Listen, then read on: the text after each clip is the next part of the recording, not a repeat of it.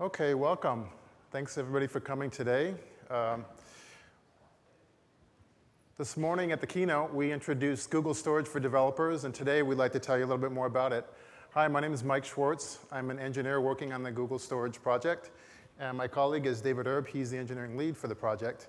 And together we're going to talk to you about Google Storage. And if anybody has questions or you want to see notes about things as we're presenting, please copy down this link and uh, visit us on Wave. I'll just wait a couple more seconds to let people have a chance to copy that down. Okay. So Google Storage is a cloud-based binary object store and by that we mean that things are structured as buckets and objects. So a bucket is basically just a flat namespace. You can get a bunch of buckets and you can put objects in the, in the buckets. And for those of you who are familiar with other cloud storage providers, this is a pretty common paradigm. You see it in uh, Microsoft Azure and Amazon S3. Um, and key thing to take away from this is you can have many, many buckets.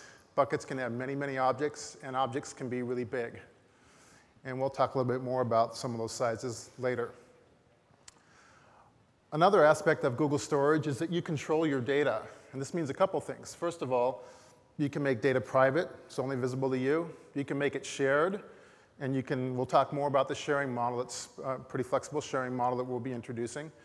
Um, you can share it with individuals, and we'll talk more about groups too. Uh, and you can also make it public so the entire world can see your objects. You have choice over that. And the other aspect about you controlling your data is that you can get your data out at any time. And we believe this is important.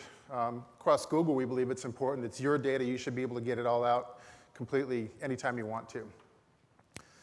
Finally, what does for developers mean? The product's called Google Storage for Developers.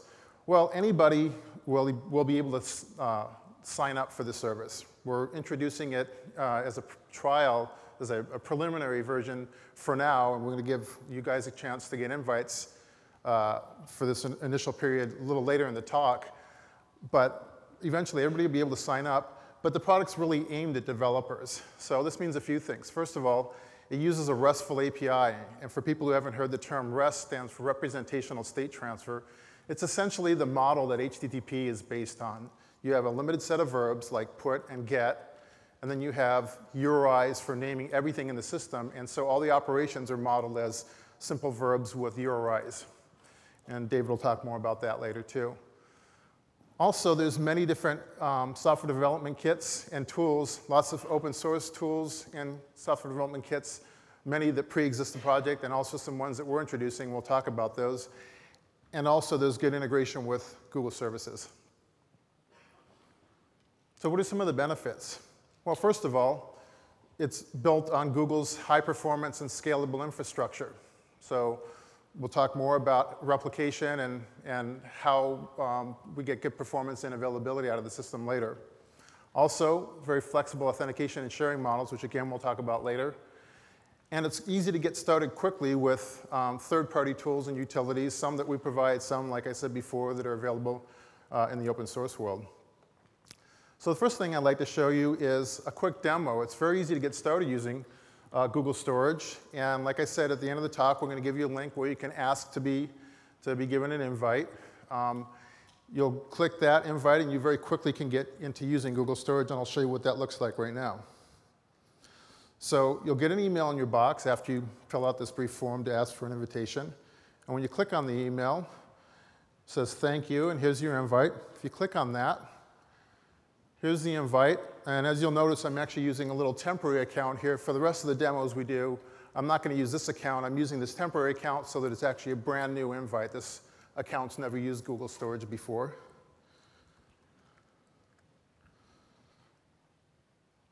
And when I log in, what you see is some terms of service, a little welcome page, some terms of service that you should read. And you click, click accept, accept. And the first thing you're taken to is some documentation. And you're welcome to peruse the documentation. There's lots of information available here. However, it's pretty easy to get started. And if you want, you don't even need to go to the documentation. I'm just going to go right over this link, Google Storage Manager, and show you this. So the Google Storage Manager is a web-based user interface uh, that we're providing as part of this release. It has a simple Explorer-like model that, you, that you're familiar with from lots of different Explorer services. And as you can see right now, I just have kind of an empty account, no buckets. So the first thing I I'm going to do is create myself a bucket. And I give it the imaginative name, My New Bucket. Creates the bucket, and you can click down into there. There's nothing in there right now. It says things are empty. And you can drag objects in there. So for example, I'm going to drag this image that I have on my desktop. It's uploading this. And this is, and then what I can do, you can see over here, there's a checkbox that's grayed out right now.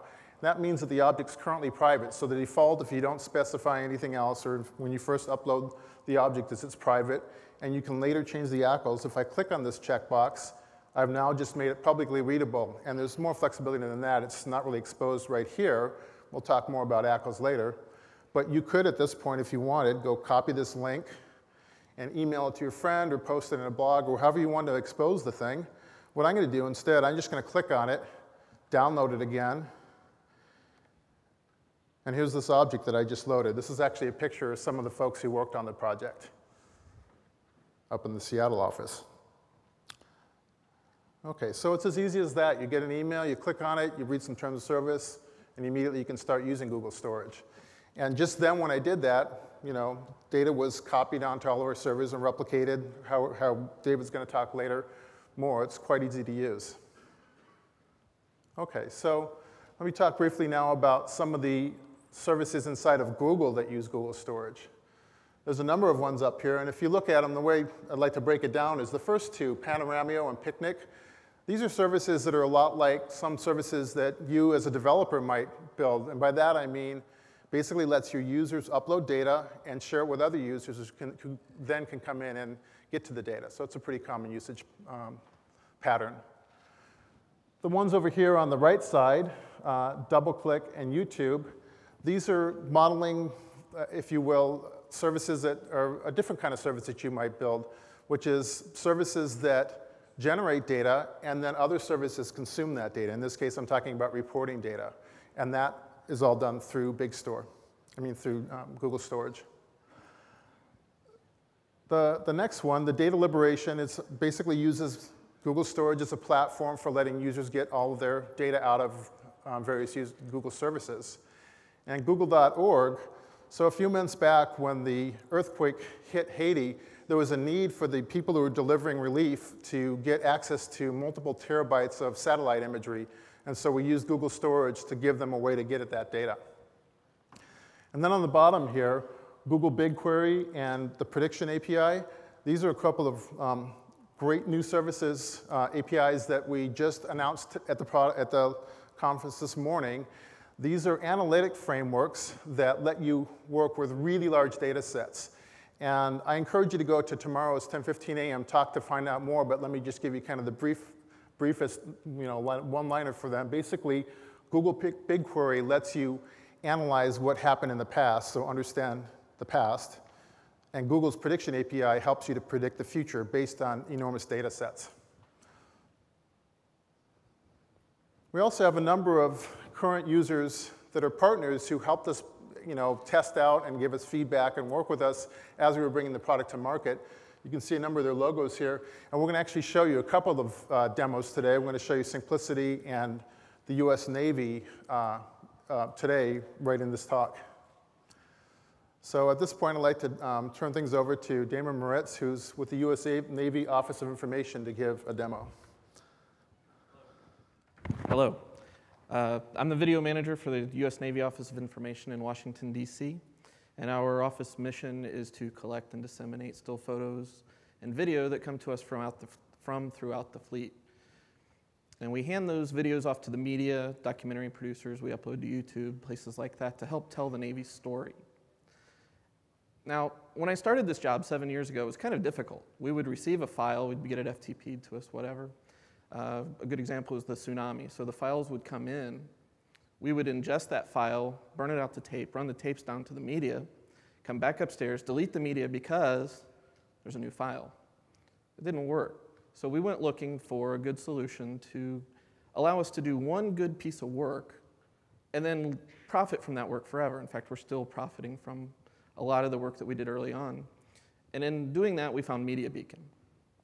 So Media Beacon got us going, and we were doing pretty well. We have a, single Ethernet line that fed it on a 100 meg pipe coming into the Pentagon. Things were good. Things were real good. We did Haiti. We, or, or I'm sorry, we did uh, Katrina. We did any piracy operations, but then came Haiti. One of the biggest events that we've ever dealt with. And we went from doing a peak of about 20 terabytes of data burst to 85 terabytes in the span of a month.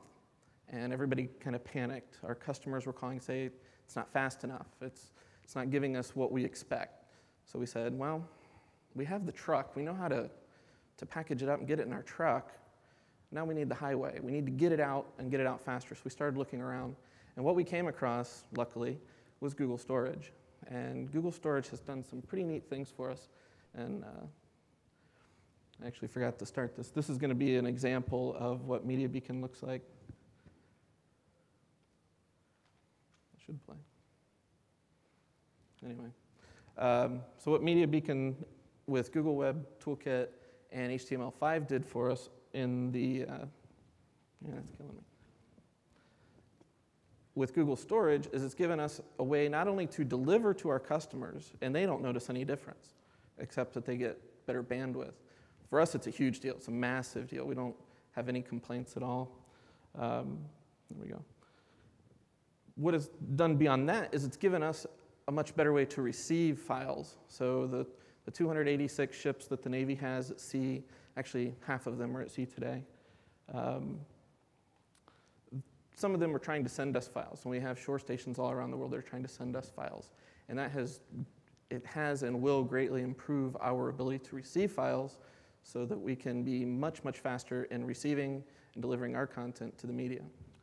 So again, for us, it's a huge deal. Thank you. Thank you.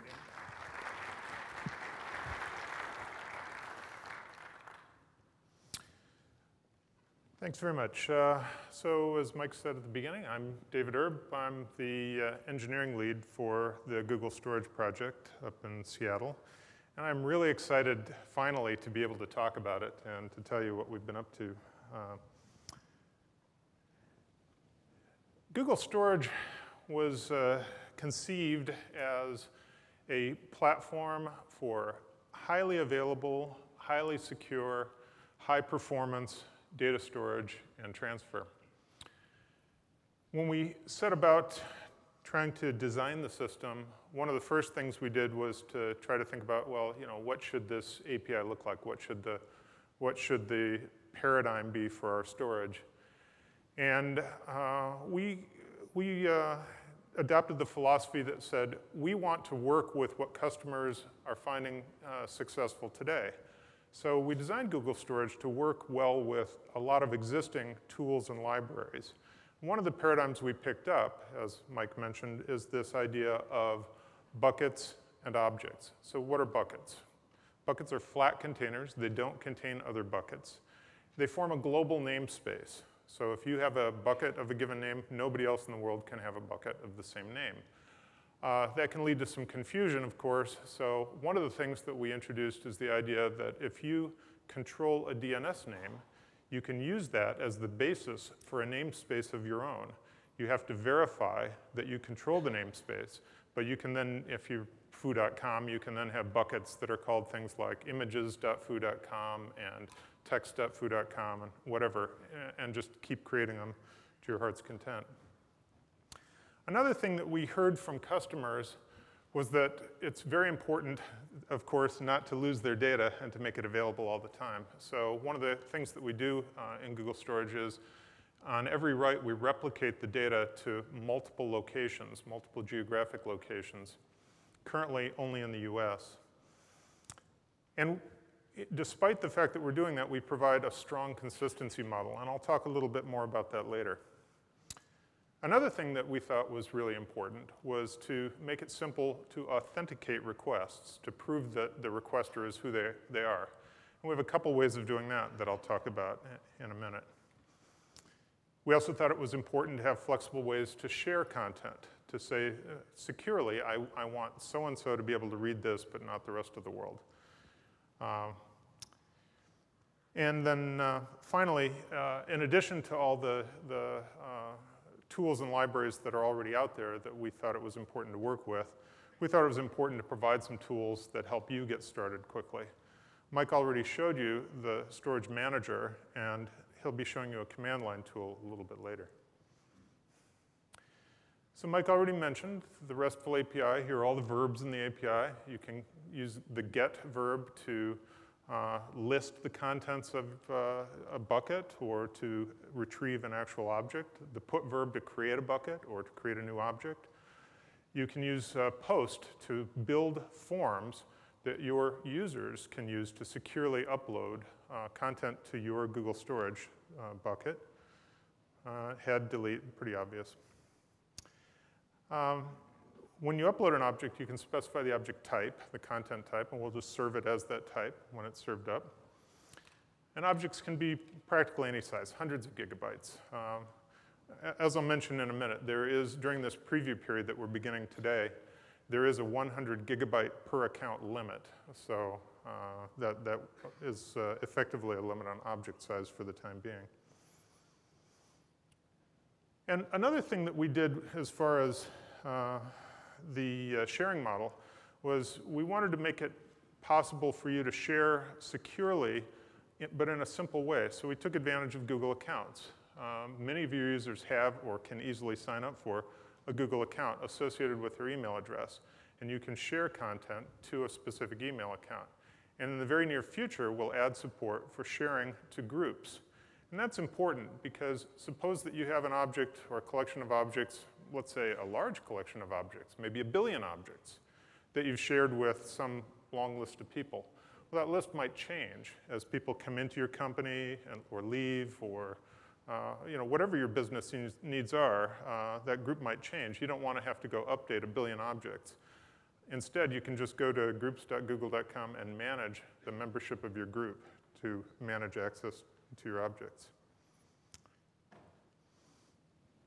I also mentioned that uh, there, we wanted to support flexible ways to authenticate requests. And so uh, when you share something to someone with a Google account, they can access that content just via a normal web browser as long as they're logged into their Google account. We also support signing requests. When you sign up, you get a, a key pair. You get a public key and a secret key. In this request, you can see a few of the common elements. So put the verb, then the, uh, the name after put specifies a bucket. I creatively named it my bucket. And then the rest of that is the object name. The slashes don't matter. It doesn't matter what characters you put in the object name. So my slash long slash object slash name is all one object name. And then the host, our, our URL, commondataStorage.googleapis.com bunch of other more or less self-explanatory fields, and then the authorization header.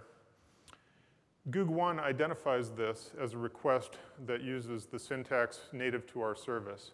Because we want to work well with other tools and libraries that already exist, that might also say, for example, AWS, in which case we would interpret it not as Amazon credentials, but as a, a, a request formatted in the Amazon Web Service format.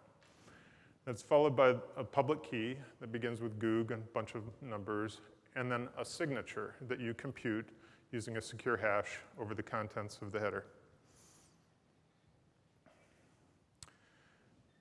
When you create an object, I didn't specify any access control in that previous request, and so by default it was private. I can read it, nobody else can.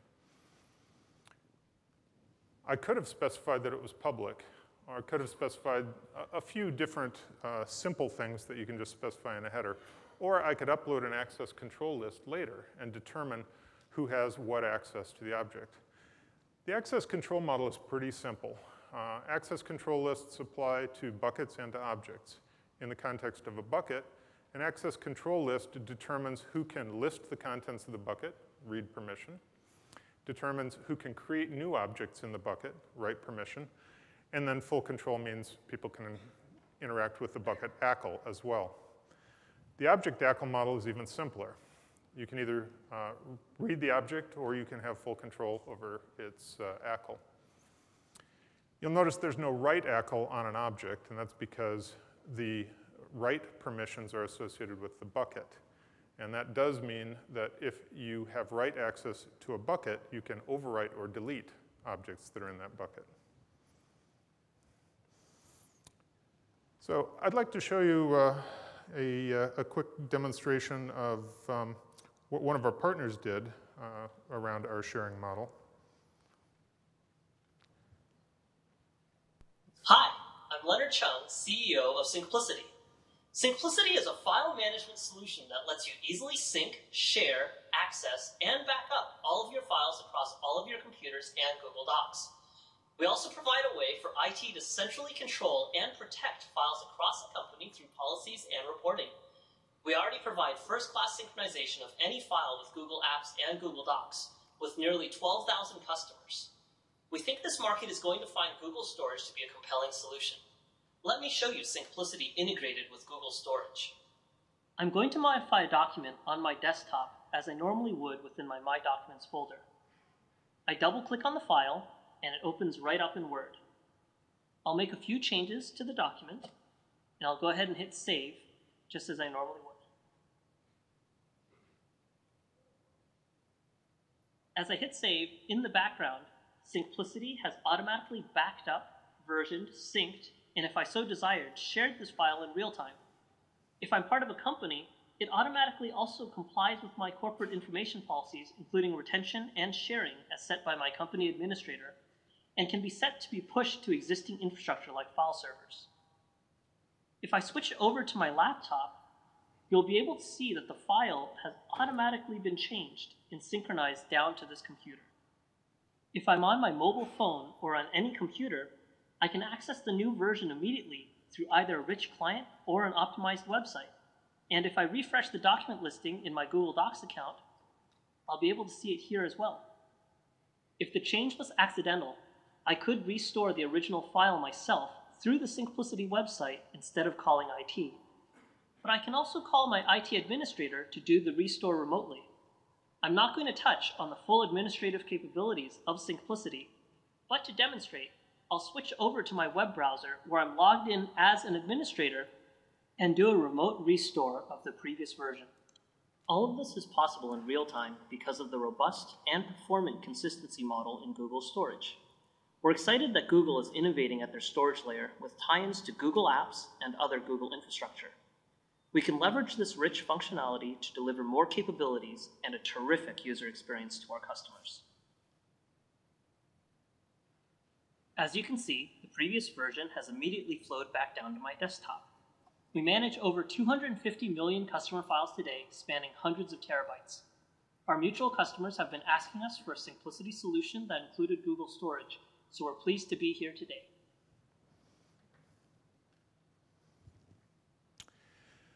One of the things you might have uh, noted uh, in that uh, brief video was a mention of uh, how some things are possible due to the strong consistency model. Let me talk a little bit more about what that model is and what it might mean to you. Uh, when you write an object to a cloud storage system, you want to uh, you want to make sure that you'll be able to read it after you've written it. Kind of obvious, goes without saying. But um, one thing in our experience at Google that uh, has really been driven home to me is that you have to be prepared for things to fail. Disks fail, computers fail, racks of machines fail, data centers fail, networks fail, whole regions can be out of commission. And you have to keep things working in the face of all these kinds of failures. So in particular, when you write something, you may, the, the write may work and everything might, might go very well and the system that you write to might generate a success response and that response might never get to you. You might have gone offline, uh, the network may go down, anything could happen. So you need to understand the behavior of the system in the presence of that, uh, that kind of behavior. So our model is very simple. If you do a write and you see it succeed, all subsequent reads are going to see the results of that write. If you do a write and you can't tell what happened, if you do a read and you see the results of that write, all subsequent reads will see the results of that write. So what does this mean to you when you're building your applications? Well, I've built this very sophisticated web form here. uh, in my application. And uh, I'm using it to uh, serve this form to a customer so they can upload a photo to my service. So the user clicks submit and does an HTTP post to Google Storage or whatever cloud storage provider. Um, in that uh, form post, there's a redirect that tells the browser where it should go after doing the after getting a, a success on the post. And the uh, so the the redirect sends the browser back to your web service, to my web service, we'll say, my server that, that's running the, the photo app. And that's how I know, uh, that's how my server knows, my app knows, that the user has submitted some new content. So what am I going to do?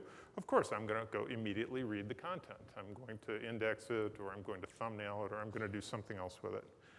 But I might hit a totally different region. I might hit a server on the other side of the country. With a weak consistency model or an eventual consistency model, that might not work. You might get a 404 back. But with the Google Storage Consistency Model, uh, you, you know that uh, the, the success of the previous write means that you will be able to read the content. In this case, a delightful family photograph I took uh, on a hike near Seattle. So let me talk a little bit also about um, interoperability.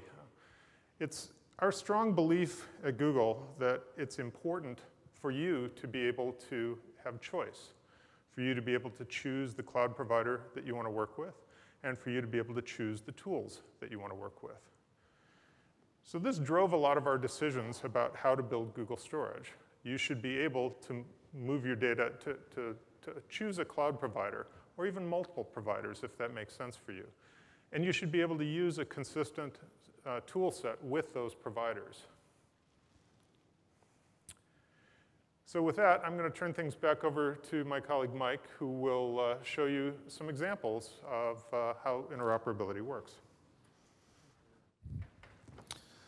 Okay, so what you see here is a diagram of some of the tools I want to talk about here. Uh, as I mentioned earlier, there's quite a few tools, open source tools and libraries available. I'm talking about just a, a few of them here today.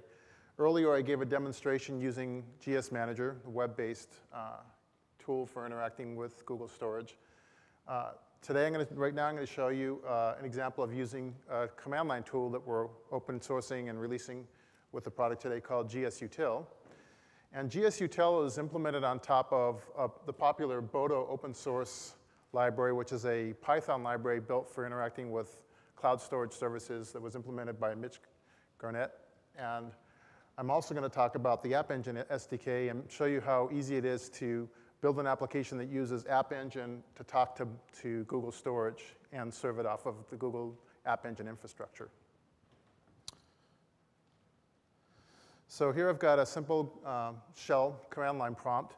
And gsutil was fashioned after um, simple Unix commands for listing and copying data around. And so, for example, if you just say gsutil ls, this shows you all the buckets that I, this logged in user has.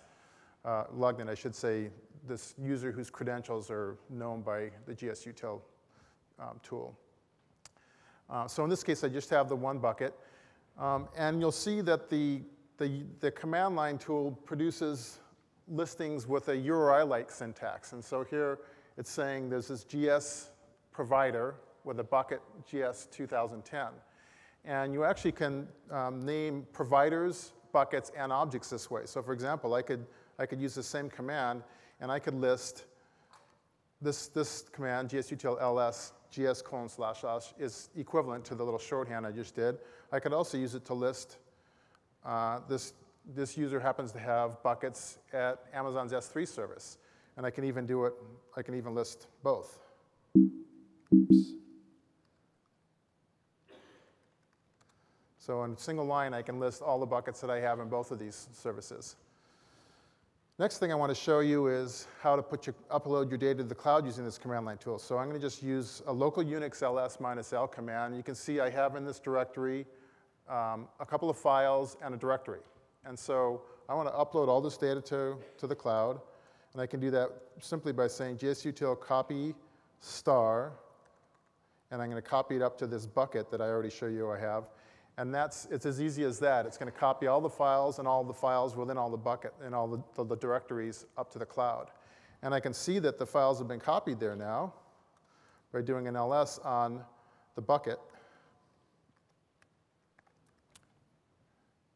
Okay, so those are the files. I can also use an ls minus l command. In this case, it's going to show me some information about the bucket. Uh, it's a, what it is is a listing of the ACL on the bucket. And this long string is a canonical ID that's for this user's, uh, saying that this is the, user, the, the, one user. So this is a private bucket that, it, that one user has full control. No one else has read access besides that user. And if, a, if I want to see everything that's in the bucket itself, I can use a wildcard. So here, this is going to give me information about all the different objects in the bucket, the things I just uploaded. And you can see the upload times, and you can see the MIME types, and, and also the ACLs. And again, the ACLs show that all of the objects I uploaded are initially private, full control just to me, the user that has this here. So, and one other thing that's kind of handy to do, either if you're interested in knowing more to see the, the underlying HTTP protocol that's being used, the RESTful protocol, or sometimes for debugging purposes if you want to see what's going on, if you add the minus D option, and I'm just going to look at um, uh, short thing because it's going to generate a lot of output. I'm going to use gsutil minus D ls on the bucket. And that actually will show you the, H the HTTP headers, the, the request. There's the GET request and the headers that are being sent, including the authentication header, and there's the response. So that's kind of handy to do. So one other thing I want to point out is this URI syntax with the combination of the URI syntax and wildcarding is actually not just convenient, it also was uh, very practical, in a very practical sense, represents the comment we've been making several times now, both David and I have made, about um, giving users the control to get their data out at any time. So in particular, say I have a bunch of files in, up inside a bucket and I want to get the data out for whatever reason, it's as easy as saying gsutil copy to the local directory. And there I've done it. I've just copied all my data back out of the cloud. And if I want, I could even copy it all over to another provider.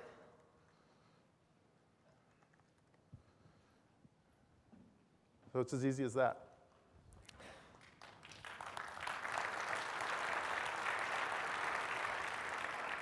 Thank you.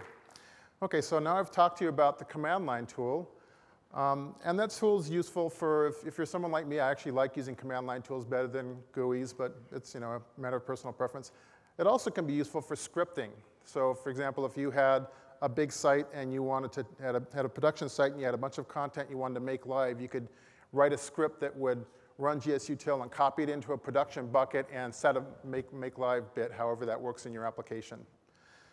Next thing I want to show you is about the library one level down from there. If you remember, it's this extended version of Boto. Um, and what we did was we extended it with a, uh, a new class hierarchy, and I want to show you right now what, what that is. So right here I have a very short script called demo.py. And it's a little three-line script, and you can see first thing it does is it imports this storage URI um, method out of Boto, and so that's a little um, convenience method for instantiating st the storage URI class, and that class hierarchy is kind of the main thing that we've added in addition to support for multiple credentials in the Boto config file. And what this little script will do is instantiate a URI with the given name. This happens to be a publicly readable URI. Any one of you could go run this uh, script and it will work because you'll have access to this particular Shakespeare slash rose.txt file. Um, and then it just gets the contents out as a string. Now, this is going to work fine because it's a little short file. Obviously, if it was a terabyte file, you probably wouldn't want to do this. Uh, but now I'm just going to go ahead and run it from the Python interpreter. And there it just connected to the cloud, retrieved this little short text file, and printed it out for you. So it's pretty easy to use. And there's lots of other interfaces of the URIs. You can do things like iterate over buckets and get back all the objects in the bucket you can manipulate ACLs. There's lots more than I'm not showing you here. I just want to give you an example of how easy it is to use as a basic function just to use this library. Um, The other comment I want to make is that that script, as it stands, you can basically drop inside of an App Engine app and make it work. And so I want to show you that. If we look back at the slideshow now, here is a essentially complete App Engine app. And you can see highlighted in here are basically the lines I just had in that script I ran for you. Um, and it's basically complete. I've left out some imports, and I've left out some exception handling that you'd probably want to implement if you're implementing a real application. But for the purposes of this, it's basically complete. And all this does is when a user requests the web page, it connects and retrieves that object from the cloud, from Google Storage, paints it in as a pre-formatted HTML page, and renders it to the user. And now I'm going to show you, I've actually uploaded this um, application. If you notice, I've given it an app ID for those of you who've used um, Google App Engine. The app ID is cloudreader-demo. So I've uploaded it. This is running on actual um, Google production servers. It's that, it's that App Engine app. Oops, just happened here? Well, something didn't work. Oh well. That's how you know it's real and it's not a fake demo. okay. So that's it. Thank you.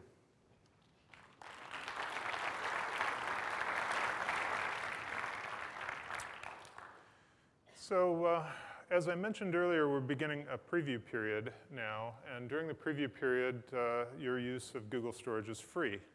Uh, we are publishing some pricing information uh, about uh, the uh, pricing that we'll have after the preview period.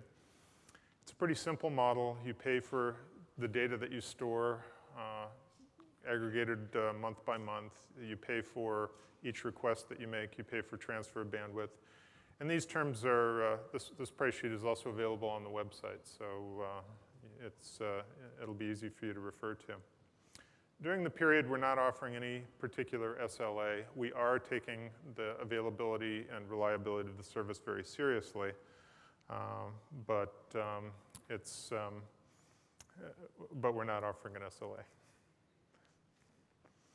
We will be offering an SLA in the near future. Uh, we'll also be offering some additional support options uh, beyond the normal uh, online forums, discussion groups, and so on. We'll be making Google Storage available to Premium Apps customers. Today, uh, if you need to use a, a, a, plain Google Apps account, not a, not an, a Premium Apps Google uh, account to sign up for Google Storage. Uh, and we'll be dealing with that very soon. I mentioned earlier that we're going to be allowing you to specify sharing to groups. That's not in the service today, but it will be very soon. We're also working on resumable uploads. You know, I uploaded an object just the other day that was 98 gigabytes. I wanted to leave myself a little bit of headroom in my 100 gigabyte quota. Uh, but um, you know, if, uh, if something I, I said earlier, things fail all the time. If something, if the connection had been dropped for some reason partway through that upload, that would have been very inconvenient to have to start over. And if it's a much bigger object, even more inconvenient. So we're going to make it possible to resume uploads. And as I mentioned earlier, we're deploying our storage systems in multiple geographic locations, but all in the United States currently. We'll be uh, announcing additional regions in the not too distant future. So um, how can you get started with Google Storage? Well, you can request an invitation. Uh, I will say we published this and uh, we got a lot more interest than we expected, so our uh, invitation servers have been absolutely slammed. Uh, so my apologies if you have trouble uh, getting an invitation right away, but uh, we're working on that. Uh, we're working to, to fix that uh, very quickly. That system's not based on Google Storage. And um, be sure when you fill in your request for an invitation that you write that you attended the I.O. session in the additional information section. We're getting a large number of requests and we want to make sure that you people who came to the session are, uh, are priority people for getting your invitations. And then we'll send an invitation in, in your email. Uh, and on the bit.ly link there, by the way, that's DBO, not zero, B1F. So um, with that, uh, I think we're ready to go to questions. Uh, I'm going to ask you, Mike, to flip your machine over to the, uh, to the wavelength for questions. Oh, okay. So if you are, are going to ask a question here, please uh, come up and use one of the microphones so that we can capture it for posterity. What about CDN usage, like Akamai or stuff like that? Uh, we're not announcing any specific, any particular CDN product. Google has uh, a, a, very, um, uh, it has a, a, global presence with its network, and it has. Uh, we take advantage of a wide range of excellent Google technologies to uh, to deliver high performance. Go ahead. Hi, thanks for the talk. Uh, I have a double question actually. I saw you were using MD5 as the hash of the files. It's very easy actually to generate collisions for MD5. So do you, do you actually use something else? Do you provide any other hash function for retrieving your fingerprints of the files? Uh, no, we don't. And the reason for that is partly an interoperability issue, but uh, I was concerned about that too and, and looked into that back when we uh, started working on the, the project. And what we're really using the MD5 hash for in this case is not any kind of security or authentication. It's really just kind of a checksum to make sure that an upload succeeded. Or for you to make a request and say, if, I, if the, the, version of the object that's in storage is different from the one that I know about, the one that I squirreled an MD5 hash away for, then um, I want to then I want to do something. So it, it, we, we don't see any vulnerabilities that come out of the fact that collisions are in fact possible in MD5. Okay, and then um, the second part of my question is besides the RESTful APIs that you presented, do you have an API that, for example, could take a hash as input and return the buckets and the objects that actually have that content? No, we don't. Is it something you're planning on doing? We're interested in hearing what anybody thinks would be uh, valuable to do, and uh, so we'd love to hear your suggestions. And in fact, on our website, there's a place where you can go make suggestions, and we encourage everybody who has ideas for features and functions they'd like to see in the service to uh, to let us know about them. We'll be, we'll be paying good attention to that. And, and also, just to add to that, we have a sandbox. We'd love to have people come talk to us one on one and talk to, about ideas like that. It's over under Google Code out on the floor. Okay, thanks. So I think uh, we should probably take uh, one of the online questions. So uh, the first question, what advantages does Google Storage have over Amazon's S3? Well, um, I'm not really in much of a position to comment on Amazon's products and services. Um, we hope that you will take a good look at the different cloud storage providers that are available to you and make a determination about what makes sense for you to use. Let's see. Oh, it's right here, isn't it? Yeah, that would be easier. Uh, will controls over location of data be provided for Google Storage? Distribution is great for speed, but there are legislative issues internationally. When I mentioned earlier that we will be announcing additional regions, yes, we will give you control over, over use of those regions. So why don't we take one here? Um, can you comment on uh, the comparison of this and the uh, Blob Store functionality? Oh, sure. Yeah. The uh, App Engine's Blob Store API is optimized for use in uh, App Engine in that the references uh, are designed to be stored in the, in the App Engine data store, and when, when you pull a reference out of the App Engine data store, you can immediately use that to, App Engine can immediately use that to dereference the blob. It's kind of a different service. You know, they, they offer objects up to two gigabytes, which is ample for, for many, many applications. Uh, we offer, you know, this service offers much uh, larger um, much larger objects uh, as a possibility. So, you know, they're, they're similar in that they're both blob storage services, but there are a lot of differences in, we, we think, in kind of the scenarios that they fit into. Um, is there support, or have you thought about support for uh, sort of like meta keys such as 404, 403, or, uh, or the nil key, um, so that you could potentially just run static sites directly off of uh, uh GS? Hmm, that's an interesting question. We haven't really thought about that, uh, and that uh, definitely falls into the category of uh, things we'd love to talk to you about. Go ahead. Uh, I have two parts. Uh, the first is, uh, do you have versioned objects? So can I version an object? No, we don't currently have versioned objects. Okay. Second, uh, I appreciate the consistency model, but um, uh, it clearly influences uh, latency. Can you a bit uh, go in, explain a bit how, how this works? Uh, sure. The, um, I, I won't go into great details because this kind of gets into some, uh, some things that we've worked very hard on for a, very long time. but uh, the, um, I, I, think if you experiment with uh, Google Storage, you'll find that uh, you get uh, really good latency on read and write operations. I encourage you to go try it out and find out for yourself. go ahead. Um, do you have to pay for um, bandwidth from App Engine to Google Storage? Uh, let's see. That's that's an interesting question. Um, I, am actually going to uh, hand that over to uh, to our product manager. so uh, I'd like to invite Jesse to to come on up and join us on the stage because I don't know the answer. Do we have a? Oh yeah, we have a microphone.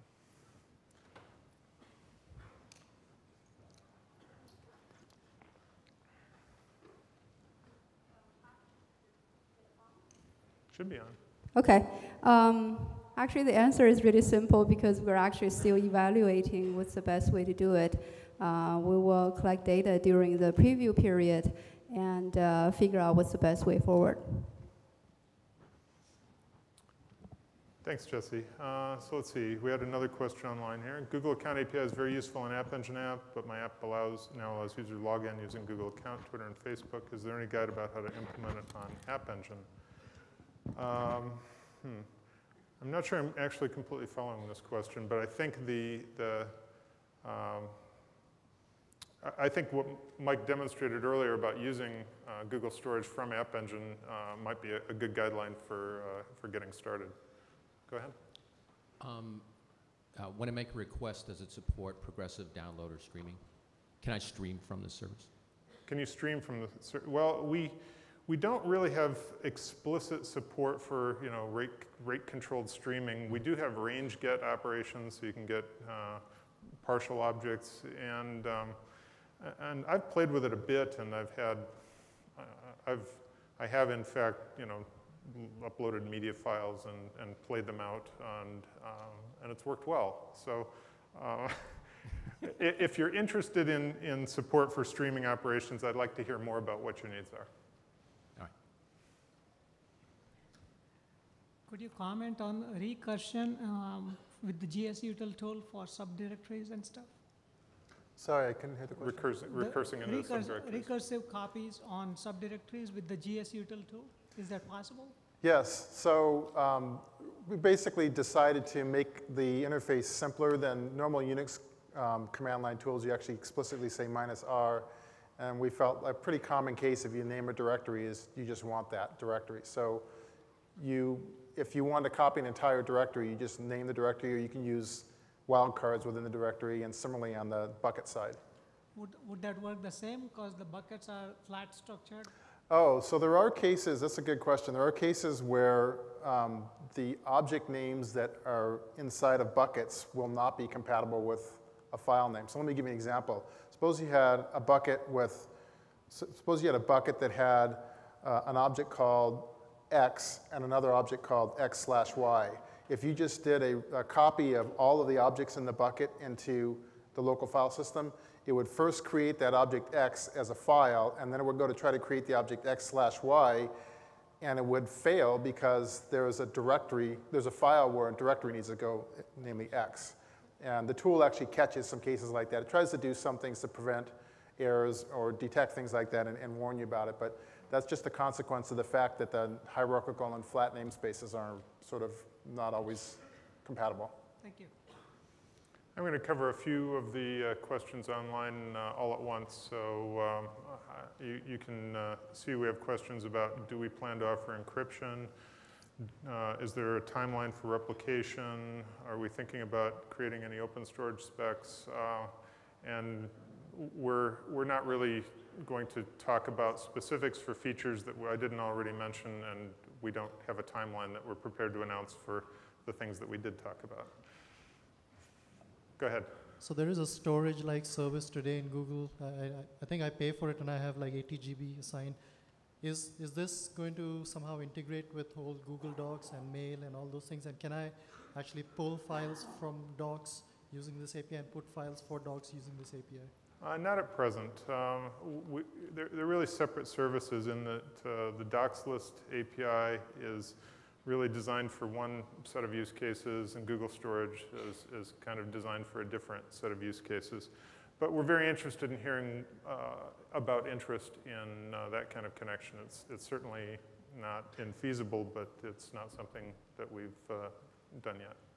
Are there any uh, rate limits on uploading and downloading? Uh, let's see. Um, no, there aren't any rate limits on uploading and downloading that, that we've imposed. I mean, there, there are certainly limits that, uh, that the infrastructure between your machine and my machine uh, will impose on us, but that's about it. Uh, just a question about authentication. So, um, having beaten my head up with AuthSub and OAuth, uh, are we now getting a, another third option to, to play with, whether we like it or not? Uh, for, are, so is the question, are we going to be adding OAuth support? Yeah, basically. Yeah, yeah. well, uh, it's some, again, that's something that we're interested in hearing about uh, the level of interest that people have.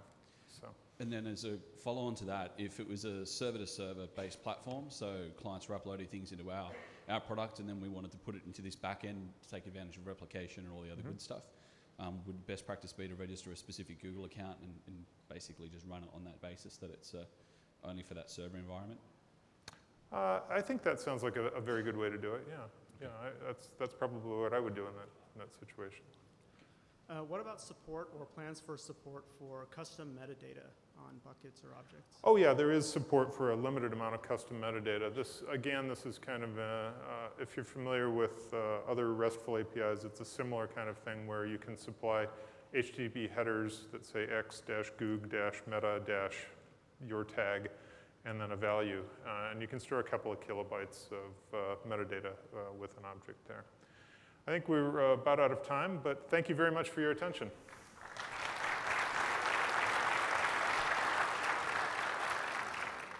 He just quit. Just quit out the whole thing.